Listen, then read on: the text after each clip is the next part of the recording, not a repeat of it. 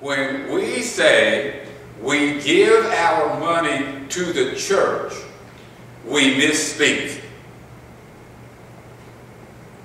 When we say we give our money to the church, I hope we misspeak.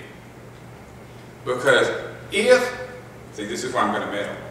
If you give your money to the church, I don't care if you keep it.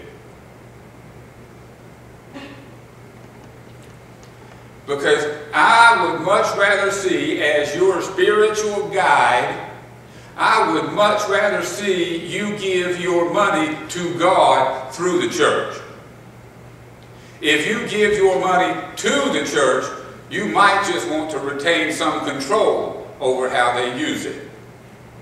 You might want that seat on the board or the finance committee so you can be sure that you get a say in how the club spends your money. When we give our money to God, we trust the people that God and we together have called as leaders to, to seek God's desire for the use of that money. And when they spend it, we're not upset because, hey, maybe we didn't even know about that mission, but they spent it that way and that must have been what God wanted. When we give our money to God, it's gone. And so is anything we have to say about how it's spent. When we give our money to the church, we want to be on the committee so we can say how it's spent. or at least we want to complain about the way it's spent.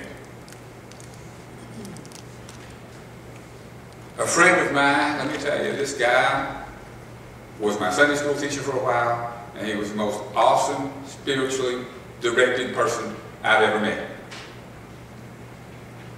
He decided one year, this is an old story, you can tell by the fact that he decided to drive a three-year-old Chevette which already had 60,000 miles on it, another three years. You can also tell us an old story because you could pay off a car in three years. He decided to drive that Chevette another three years and take the money that he was going to use to buy him a brand new Oldsmobile and give that money to the Lord to carry out a mission that the congregation had just decided to do wasn't like he wasn't already a tither. Okay?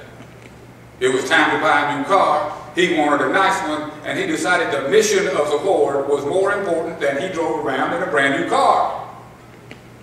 He was an awesome example to all of us who knew him because his relationship with the Lord was the most single important thing in his life and seeing what he could do to further the work of the Lord in our community and around the world was his personal mission. He was a vice president of Tom's Foods, and they're a big deal. But that was where his primary focus was, not on work, not even on family, but on the work of the Lord. He was something else. He didn't do all this stuff because he thought if you give enough money, you'll guarantee yourself a seat in heaven. There are people like that. There are people who think if you come to church and Sunday school every Sunday, you're going to heaven no matter what else you do Monday through Saturday. There are people who think you can get your way in there. He didn't think, he didn't give like this because he thought he owed God something and he should work hard to pay it back. We all do, but can't pay it back. It's a gift of love not expected any repayment. He gave that way because he was so thankful for the salvation that he had received from Jesus Christ. And he was so thankful for the relationship that he had with God that he just couldn't help himself. He had to give like that. He knew that the security that you can have in this life only comes from the relationship that you have with God. He was secure in who he was. I mean, he's a vice president of a major company driving to work in a three-year-old orange Chevette. And he was secure in his relationship with God and everybody at work. They didn't respect him because he drove a big, late model, high-end automobile. They respected him because they knew who he was. And that his priorities were straight. And that he was secure in who he was in his relationship with Jesus Christ. And it inspired people. We can do that. We can. Now, I read the other day, you never can tell what you'll read on the internet or a newspaper or a magazine, especially when you're sitting around in a doctor's office or something waiting for something to happen, which may or may not happen anytime soon. I read that the president of this great nation has urged every homeowner to go out and take a mortgage on their homes so that they will have money to spend and then go spend that money on essentially disposable items so that that money, your, that money that is in your home equity now, can be spent to jumpstart the economy.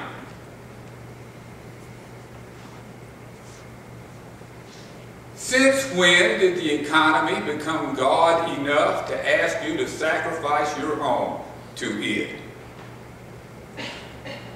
And if that's not what that request was about, I'll kiss your foot. Our economy in this nation is hard running for God in the hearts of every single person. It just is. And if we do not recognize that, we cannot combat it. We have to be, we are Christians, right? We are. And if we are Christians, then we work hard because there is so much calling on us to, you know, they're not little idols sitting out here. But there's a whole bunch of stuff that wants our undivided attention and wants to be first place in our lives. If it's first place in our life, if it provides us our security, if it's the thing in which we invest the most, it's God. And everything wants to be God. And that's why you get the right? You wanted to be, you wanted to be just like God. Everything about us craves to get our attention and be God. While this country may or may not have been founded as a Christian nation, we presently are far too focused on our money to call ourselves a Christian nation. It's time that we as Christians started paying attention to our Savior and our Lord and putting Him in first place in our life. With all these competing things, it's going to be tough to figure out how to get Him there. But that is our job if we will wear His name. We have got to put Jesus Christ in first place in our life, no matter if you get a really good offer for something else. It's time that we put Jesus Christ in first place. And in our spiritual lives, in our love, in our money, in everything that we have, it becomes everything that we have, everything we know about, comes in second, third, fourth, fifth, 97th place, and Jesus Christ always comes in first. When God is in first place in our lives, when Jesus is in first place in our lives, you know what happens? Every other priority that we have shakes out into the position that God wanted it to be in in the first place.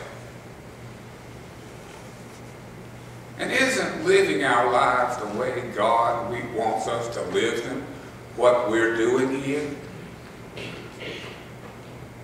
When we learn to put Jesus first, we will be an inspiration to every single person we meet. We will live the gospel. And if we live the gospel, the one thing we won't have is empty seats.